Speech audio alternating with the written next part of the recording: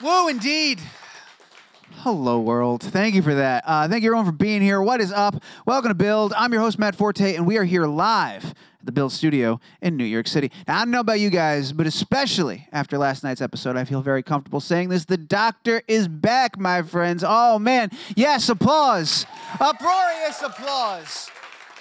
13 made her triumphant return this past week with an epic two-parter, which brought back not only everyone's favorite Time Lord and the Fam, but spoiler alert, and I mean this seriously. If you haven't watched the first two episodes, I'm going to spoil a big thing right now. I'll give you two seconds. Turn your heads. You all watched it, right?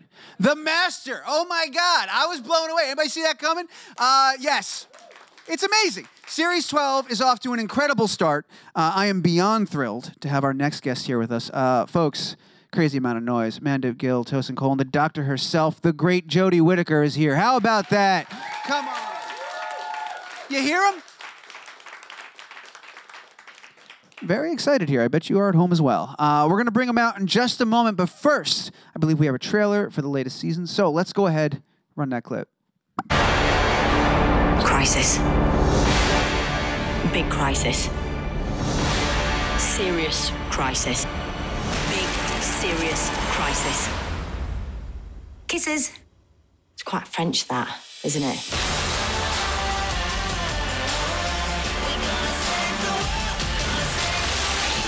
Who are you, Doc? You don't know me. You're the woman that brought us together. Something's coming for me. We'll be right here, by your side. Let's go. Welcome to the end of your lives. People can save planets or wreck them. I will take everything. Ah! Get away from them! Be the best of humanity. Consider as you hope restored. Fancy a trip in the box? We gotta save the world! My goodness, ladies and gentlemen, crazy amounts of noise. Jodie Whittaker, Mandip Gill, Tosin Cole.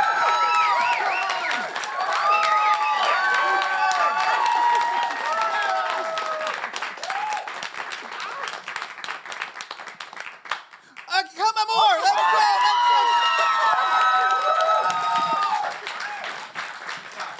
Let's go.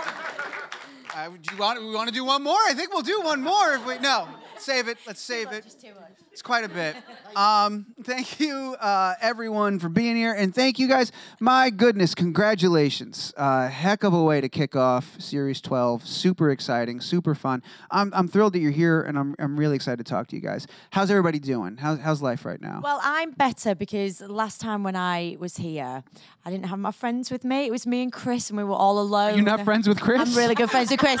but every time that someone asked like a, a like a, a grown up question, I went and just kind of sat and smiled. But I was like, why are our friends not here? And now You're the grown up. I'm the grown up. Now I'm the grown up. Poor you guys. What an interview this will be. It's going to be a lot of fun. Uh, I'm excited you're the grown up. And also, it's a safe place. A lot of fans, a lot of love. While that uh, trailer was playing, you received a gift. I did, and, and I, I must have done it so like so calmly, and so I was like, "It's brilliant." That I, thought put it it was- straight on. I don't know if you can see. It's absolutely beautiful. It's a friendship bracelet. It Says "Don't panic," and I really smooth it. It goes in my outfit, and you didn't even know. I'm delighted. But from Philly. I made it on the bus. that is brilliant. Took a bus. did you make the bracelet on the bus ride over, or was it? Yes, you did. Fantastic. Thank you so much, and you have absolutely nailed my costume. It looks fantastic. Beautiful. Um, but yes, a lot of fans, a lot of love in the room. That's got to be nice. Have you found that most places you go, it's it's a beautiful fandom, and there's a lot of really excited people waiting for you every yeah, you walk definitely. into. I think the for us being new in the in the Who universe, that kind of inclusion and that celebration of it, whether you are brand new to it as we, you know, were particularly last season, or if you have been a part of this family for a long time, I think that's what's lovely about it is you never get kicked out of the family and the new ones get welcomed in. So it's been that's always nice. And I always think people, if they're angry about something or don't like it, they don't often say it to your face. They don't wait outside for you. no, they don't. They don't say it to your face. So you generally, you kind of have this like weird thing where everything's perfect because I only hear the nice things. Uh, So She needs to go on Twitter. I, I'd say maybe she doesn't. I don't Why? know anybody. Why? no, no, I don't know that anyone needs to go on Twitter necessarily. Um, you know, talking about uh, amazing experiences and, and being surrounded by a beautiful fandom. Last night, you guys did a screening uh, and and a Q&A. Yeah. And to my understanding, it was your first time seeing part two of Yeah. Skyfall. What was last night like for you? What was that experience like? It was intense. It's amazing, actually. I've not had too many um, opportunities to watch watch an episode with the audience. So there's parts like you just sat in, you know, you watch it with your friends or your family, and there's a little. but yesterday there were like big laughs and like claps and stuff, wasn't there? Yeah, yeah. Which, yeah, I'm not used to. Yeah, we were a bit gutted because Tosin's Tosin's line got one of the biggest responses, and I was like, oh. Yeah, you know it happens. You know, you just gotta go with the flow. take every moment. Take every moment. Were you surprised by, by the response when, when that sort of stuff happens? Yeah, because you just, you know, you're just watching it as everybody else. and when people react like crazy, and like, oh, okay, oh, maybe I'm quite funny. Oh, thank you. Yeah, yeah. You know, I mean, give yourself a little pat on the back. You know what I mean? Adjust Yeah, the like seat a bit. You know what I mean? Like, yeah, I got one. I got one. I got one. I think as well. It's sad. This is such an obvious thing to say, and we've been doing it for so uh, like we've, we've you know we've been actors before this, but you forget the you, you, it's such a surprise seeing the bits you're not in, and you are like you know mouth open, and I was laughing my head off at Brad with his shoes. I just I couldn't, and because like obviously you guys are there, and there was also an experience that these guys had with the. Yeah. Well, you've often talked about. No, no, say it, say it, say I it. wasn't there. So basically, gotta tell us, yeah. You know the the scene where Graham, Yaz, and Ryan are coming back off the plane, and we get the the message from Essex, um that, yeah. yeah, in Essex somewhere, and then there's a lady right. And then we were filming, and she was had a like a, a iPad. I think she had an iPad, and she was recording us. And we was like, "Whoa, whoa, whoa, whoa! Someone tell her that she's not Like, allowed to film." Like, "No, no, no, no, was like, "Something," and then she's like, "No, no, no, no, no! She's in, she's in the scene." And we was like, "Oh, oh, uh, Brad yeah, was yeah, like, yeah." As as you were, as you were, It was like- it was we like- thought we thought she was hilarious. So we got through it, but laughing our heads off. Because and we thought we were proper smuggle. Like, oh my god, did you see that lady who walked onto Yeah. set? And they were like, no, she's part of it. She's just like, I was like, pie on fish. That's one of the things I've heard you guys talk about a lot is that you laugh a lot on set Yeah. making the show and you have a blast making Yeah. the show. And I think a lot of that fun and energy does, it comes through at times and you can see you guys are having a blast. yeah, it's Yeah. wonderful for that. And I think that it is long hours a lot of the time, and it's an absolute pleasure to be on set. But you know, sometimes we, we don't always get tropical climate No, in we don't. Cardiff, and it can be four o'clock in the morning. But on that a was hill. Jodie's rule when we first got the job. Like, I remember when we did the first reading, and she's like, "Guys, I've only got one rule: banter. Like, I don't want no, no dull moments, just banter." I was like, "All right, cool." okay, Yeah, that's my rule. Not learn your lines, but banter. and also, it's like my mate. Like, but it's important as well. I think as actors that you.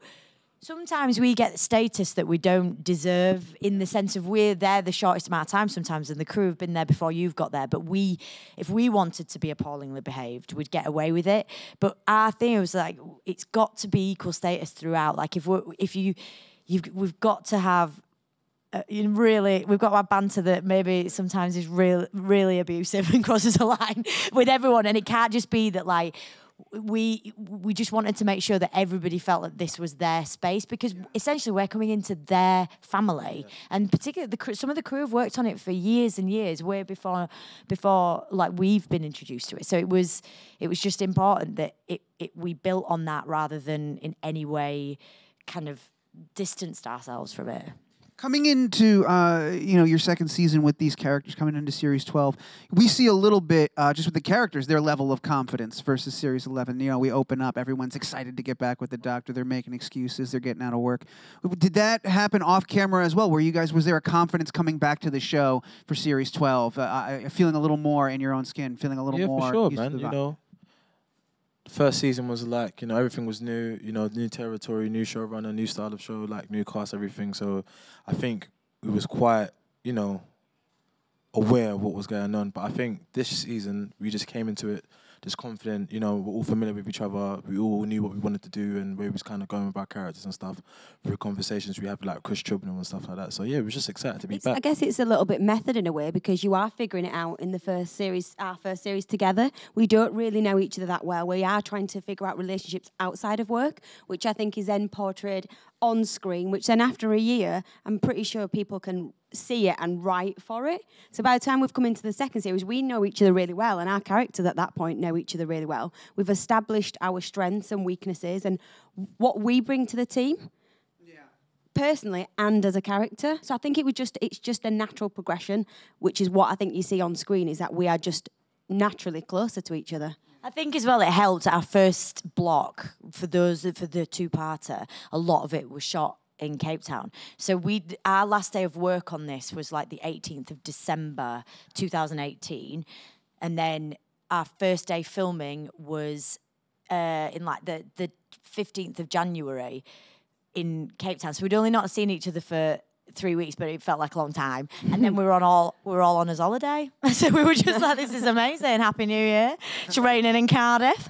We're in South Africa. And so you start you start in that kind of energy. And we were welcoming in these really exciting cast members. That we can now talk about. We can talk about them now because you've seen it. We can talk a little bit about it. I'm curious. Uh, you mentioned like having conversations with Chibnall and talking to Chris and stuff. And uh, for my understanding is he's got a very specific vision. Everything's mapped out. Nothing's by accident, right? No. Like he's he's figured out exactly the story he wants to tell. When you're working with someone with that like precise vision, how much room is left for banter or for you to bring some of yourself to uh, the character? I think I, I think it's, it's hard because he's not here. But if Brad was sat with us, I think it, you definitely see the, particularly with Yeah. Graham, the energy Yeah. and the um the, the I suppose you know the things like Doc and and all that. He, he has he has put loads of little touches in. That relationship that you created was obviously there on paper, but I think naturally there's a natural spark between them two. Um, because sometimes I watch it and I, I I wonder, did they put that in? Like, did did they write that for Brad or did he add that? Or Yeah. There's a little thing where you fell on the stairs in the episode that you've seen, and I was like, I wonder if they've written that in or if he's figured that out himself. But I think you get more confident as you go along, and there is sort of like room to work with Chris, but he knows what he wants, and he's already sort of set it up. And he he knew Brad as well, didn't he? Before, so he knows Yeah. he's just a joke. Like he is like that. I think I, I'm really lucky, particularly having a relationship with Chris that's previous to this show because I've. It, it- the, he knows the doctor far better than I ever will. But in the case of this doctor and my doctor, it feels like I never have to question what he's given me because he, he he's writing for me, and I think because he knows me so well, we my energy feels like it's on the page, and and also that freedom to make choices that are sometimes bold and good and bold and shocking you know like it's it's there there's a safe space for that. But as far as you know i would I, i've i feel like with every writer that comes in as well they've they've done so much work that it's it's there to be played with but it's not there to be improved in any It's like um like a coloring book in a sense, you know what I mean? Like they draw us the outline of what the picture's supposed to be, then we just add our little colours and just colour it in the way we feel and the way we want to express the characters. I feel so. You know what I mean? i'm It's kind of stealing like- that It's like a- it's like this next interview i'm saying it before the questions even happen Not even going to be applicable. Then how are you doing coloring books? Hi, I've got I want to talk book. about coloring. I've books. got an acting colouring book coming out. if I totally misunderstand what you said, I was like, colouring book? Sounded good when he said it. Uh, Jodie, I was revisiting some behind the scenes stuff from uh, Series Oh. 11. It- no, it was fun. It was an interview you had done, and you talked about filling these shoes and coming Oh, back yeah. in, uh, you know, coming into this role, right? Mm. And, and walking into this world. And you had talked about having a lot of fears because of, of like these big ideas that you would hope la- that would land and so forth. And I'm curious if you remember what some of those big ideas were and, and what it was like seeing reactions to them. I, I- I think, I suppose for me, knowing that the the Doctor has very many different sides, and the joy of being a actor coming into it is that essentially you're not there to repeat, you're not there to try to be somebody else. You're there to be you, and and to bring your colouring book to to the role. That's But- nice. Thanks. Edit, I like that. Is edit that yours? Did just before come and then like yeah. I don't think that's the, wasn't the mine, way it's supposed to be directed. It's all right. I've misunderstood it. I misunderstood it. But um, I think what I really adored in the writing, and particularly in the conversations I'd had with Chris, was this. I loved the idea, and I know I've said this before, so sorry to the Whovians who know this, but just the Colouring book. accent is your accent.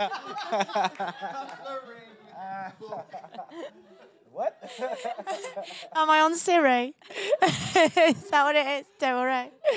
It's what- We live in a really weird time, don't we? What- I've got such major technology paranoia as well. So for me, I'm like, How ah, could you not working on this show? I know.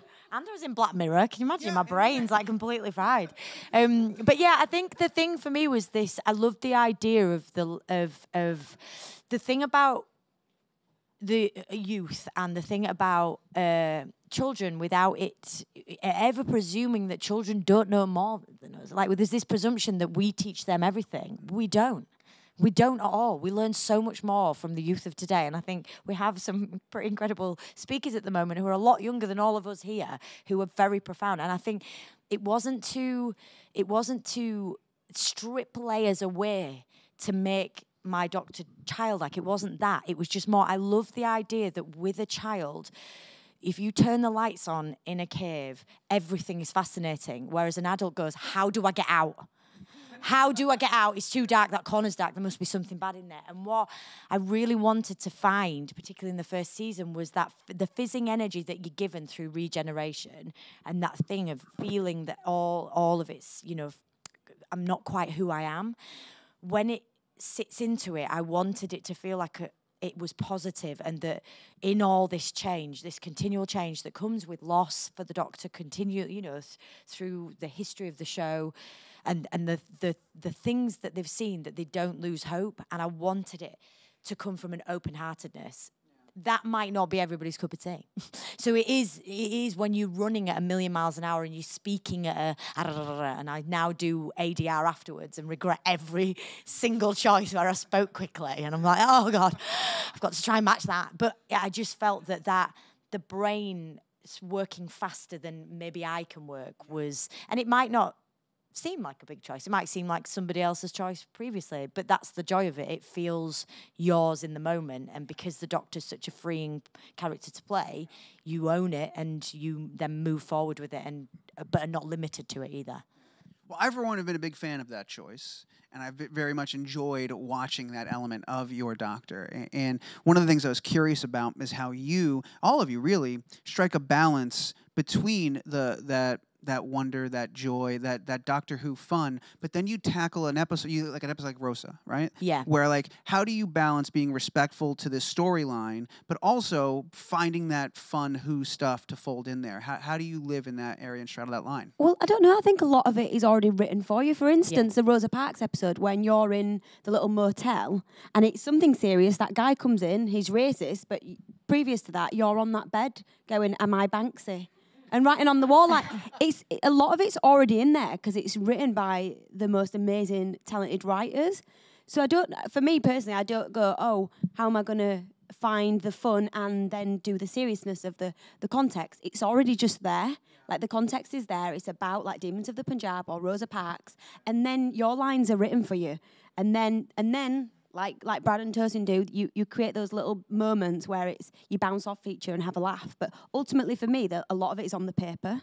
But also, when we were on the bus, that you can't you can't help but You appreciate. just got to play to the moment, the play to wa- the truth, Yeah, play to the truth of the moment. Do you know what I mean? Like even yeah, like I just keep on thinking about um my guy, the the driver, how intense he was on the bus. But yeah, but um, but like yeah, you're just playing the truth. You know, at that moment, it's very it's very serious. It's a moment in in time that changed history forever, or changed yeah, just changed the world in general. So you just got to play to the truth and just yeah, just be truthful and and give it the respect it deserves. I think as well. It was a that that whole beat. Uh, Vinette Robinson, who played Rosa, her her grace as an actor, and and then playing those scenes where you know the moment is for her to to say no, it's it doesn't it it doesn't you you'd have to be completely failing at all like moments of your career if you're not listening to that like everything about that it centers you and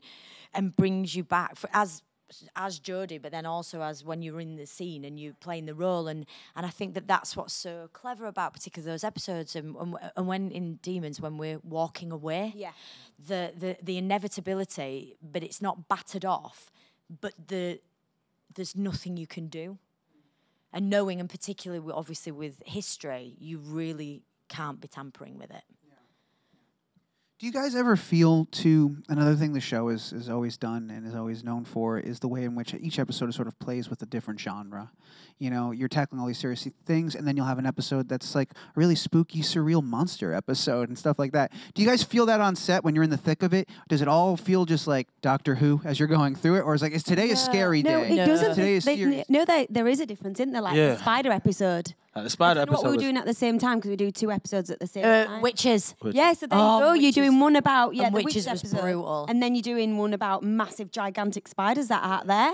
Yeah. But it do, so it doesn't all feel like oh, this is everything's really heavy and stuff. Yeah, and the sets play a big part, man. You know what I mean? Like when you're in the ships and like the worlds they create, and it's like, wow, like this is crazy. So when you have those kind of elements as well, it helps. It just helps, gives it that weight and that texture. You know what I'm saying? So Can you remember then when we were doing Kerblam and the Tsuranga and it was those two episodes, wasn't it? The hospital. Uh, yeah. And Brad was like, we- we're only like second day, but first day. usually we do at least like two weeks on one episode, and then but we shoot two at the same time, and um and so we'd been like the first day we'd been in Kerblam, and then we were in the the the hospital, and he was like, "Why are we in hospital?" and he couldn't work out where this hospital in the Kerblam was, and we were like, "No, Brad," and he was, "Oh," my," and it get like we were just like showing your age, love. We were really, it just it was so like what, and it was so funny. But you just, but oh, but I think as well for us there are there is you know there's darker moments there's lighter moments there's the stunt days there's the the days when there's seven characters and you have to get everybody's close up and everybody you know and then there's the ones where it's just us two or just us two and yeah so it always brings that Do that's- you it's always an adventure You're doing two at a time. Do you have uh, an idea of like the entire season's arc? So, because like if everything's mapped out on paper, then I would assume as an actor you want to be able to plant your own seeds within the performance. Do they? Is there a chance to do that? Is that impossible? Do you ha- kind of It's just have not- to trust your writers? it's not impossible i think we know the story arc but a lot of it is a reveal because even to us it's secretive isn't it Yeah. But you know from from the beginning, I imagine you knew what yeah what the journey was of the character, and then naturally there's little little bits that come in or that's tweaked and whatever, but they don't then change the whole story arc. So f- for us as actors, we can go right. We're going to start episode here, and then my journey is X, Y, and Z. I don't know when it's going to come up and what episodes and how, but at least I know I'm going on that. And I think some there is often as well where it, it, it's you know you get in your episode, and so there is times where I'll it's not a it's a very collaborative show. So with Chris, like if uh, you know if it's an episode that he's written or you know with and you I've very often said, right, this beat is the is that I I feel like um, I need you to maybe not explain it to me, or but just like, right, get me here now because I think that beat is there or something like that. And there are times when it's like, oh yeah, let's move that, and the rewrites come in, but it's always you all. The story isn't being found on the day. It's like it's there. It's just sometimes like little moments, and also then you get the dynamic of the new cast that come in, and sometimes people bring an energy that you weren't necessarily expecting, especially from the page, and that just elevates it. I know it's a completely different uh, universe, and I mean that in every sense. But you know, you've worked with Chris. Uh, I thought you could do on Star Dark- Wars. No, no, just Star Wars. But I was going to say, is there something like a shorthand or a way in which you communicate and collaborate with Chris that's similar, even though it's a different yeah, it's in, it's in the first episode. Really? Chris, basically, I'm just WhatsApping you to say that I've read this script and, and I hold my phone and I walk around like that and I leave him four minute messages. And at the end, I'll be like, bye, babe, bye, bye, bye, bye. See you later, bye, bye, bye. And be like, and then I'll, uh, sorry, did I ask you about that? And oh my God, I'm exhausting. So yeah, he's, he's done a little nod to me in the first episode of this series where I'm, I'm uh, trying to get in touch with O. So yeah, and it's all WhatsApp and it's a WhatsApp monologue. And I get, and when I And she holds it in the weirdest of ways. Who does it, who talks like that? me. So yeah, so I like to think that I, I opened Chris's creative genius with that physicality and he put it in. But yeah, so there you go. So that is how I communicate. We're gonna we're gonna go over to the audience in just a second. We've got a couple of questions that I want to make sure we have time to get to. But uh, I wouldn't be doing my job. You know, here we are. We're just at the start, just the first two episodes. Obviously, I don't want anything spoiled. We we've seen trailers. We know Cybermen are on the menu. What are you excited about? What can you say that isn't a spoiler that you're really excited for us to see in series twelve? Well, we can't say a lot. Perfect. That is exciting. Let's go to the but- questions from the audience. A cou- You're a natural. do you want to? No, but it, it, all I can say is it's way bigger than the last series, isn't it? It's, very epic and it's the kind of emotional and, uh, I suppose, visual scale. Yeah. And it's more threads that's going out throughout the whole seasons compared to last season. Last season was like each individual episode, but now it's like threads and themes that continue along until the end of the season. Very cool. Well, again. Th- Thank you for not answering that question. Perfect. That was great. No, uh, and sincerely, I, I can't thank you enough for being here. We're not done yet. We're gonna do some audience questions, but it's just so cool to have you guys here. Thank you very Thank much. you. Thank you very much. All right, so let's go ahead and do it up. The first one's from Twitter. This is from at David Daffin, uh, and it says, "How do you even remotely keep track of your age, given all the time travel you do in the show? How? The wrinkles. yeah, yeah, my frown line. I think, yeah. I mean, as the doctor, how do you?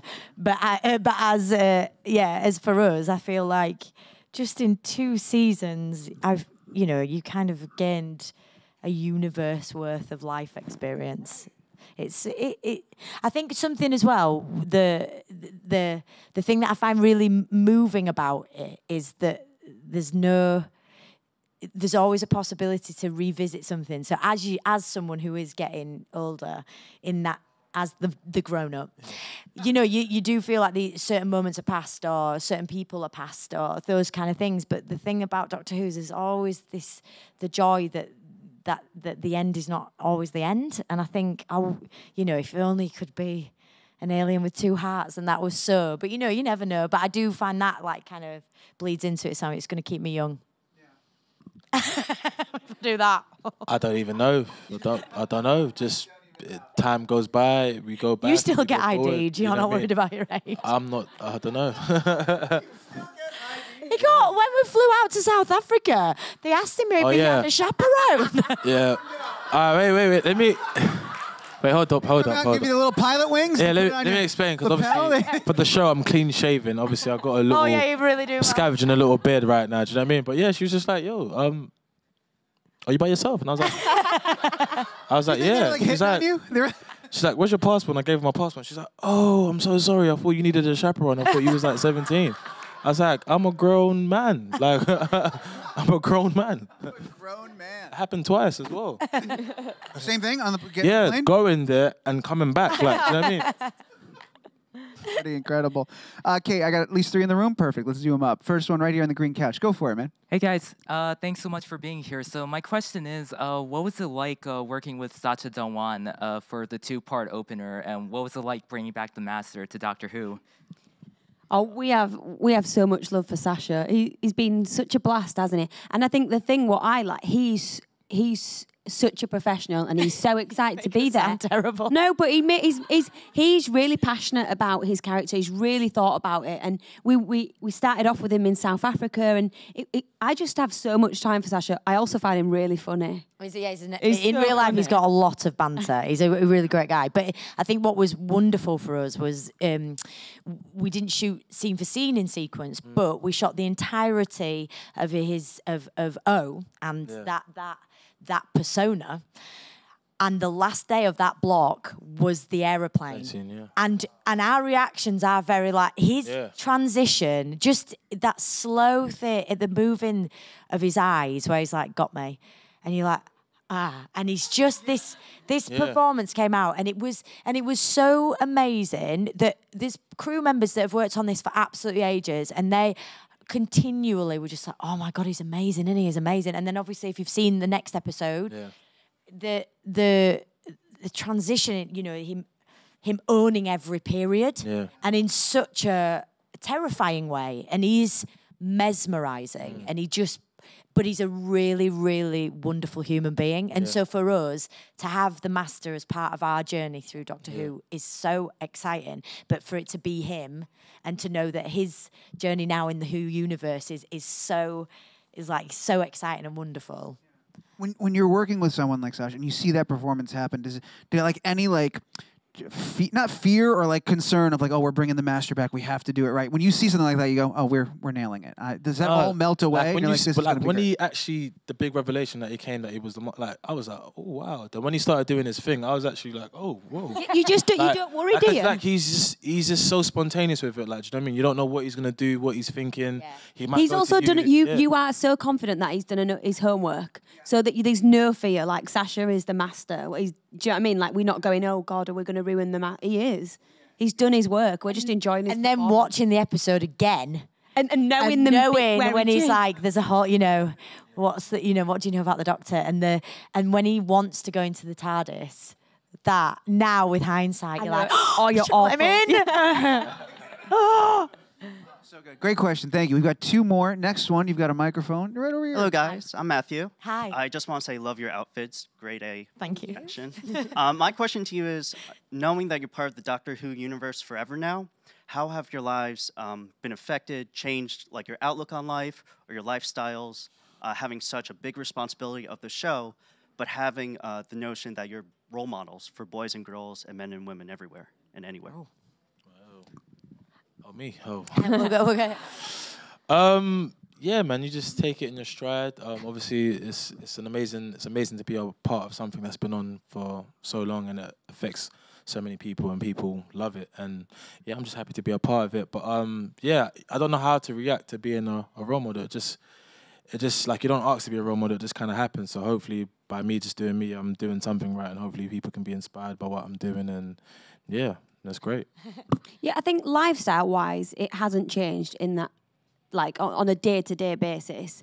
But then we're sat here doing this, talking to people who love something more than we love doing it, and we love doing it. Like it's it's it's just it, honestly, it's probably overwhelming, and I don't think I realise the gravitas while I'm in it. And it's only when I'm out after a couple of years, I'm like, oh, you still remember my small part on Doctor Who? Yeah. I think it's just been so open hearted from the start. We've been welcomed by everyone we've come into contact with, the fans and, and also the the Doctor Who family that is in uh, Cardiff, the Doctor Who family that is you know way before any of us you know before some of us were born. And i think the fact that you're never kicked out the family and you're always in it it sounds like it sounds like a mafia the family.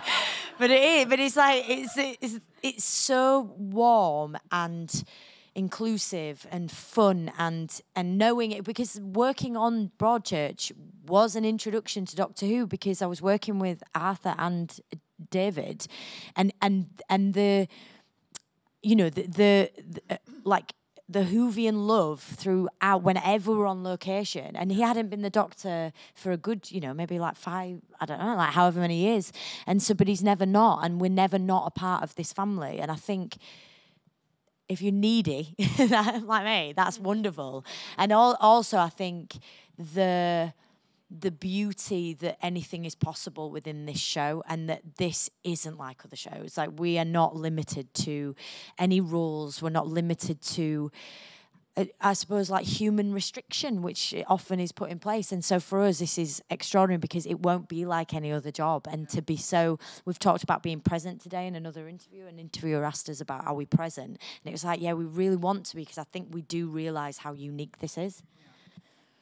It's a great question. Thank you so much. Uh, time for one more, and it's going to be right over here. Go for Hi. it. Hi. Hi. So you all you four with also Bradley. You're my favorite TARDIS team, and River Song is my favorite character. So I was wondering if she were to ever come back, how would you want like what would you want to happen with her and your characters? I think I think that the thing for us when we have been looking enough to have, you know, we've it's obviously it's the villains at this point, but like with the Daleks, and you know you've got Cybermen coming up, and you've got Judoon. The thing, and you've got the Master. The thing that's so exciting about bringing someone or something back is that knowing that the episode would be worth it. Like it's not just a, you know, particularly Cybermen. It's this.